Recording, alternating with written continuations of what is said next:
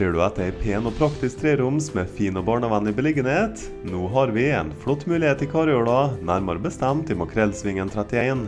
Her selges det nå ei pen treromsleilighet i andre etasje med romslig sydvendt balkong og fin beliggenhet. Den ligger fint til i et rolig og barnevennlig miljø og kan by på ei lys og romslig stue med plass til både salong og spisestue. Kjøkkenet er pent og har flis over benken, god skapplass og plass til kjøkkenbord. Badet er flott oppussa og utvida med varmekabler, stor dusjsone og pen hvit høyglansinnredning. Det er òg opplegg for vaskemaskin. Leiligheten har to soverom, og begge har garderobeskap. Det er òg en praktisk gang, også med garderobeskap, to boder i kjeller samt felles vaskerom.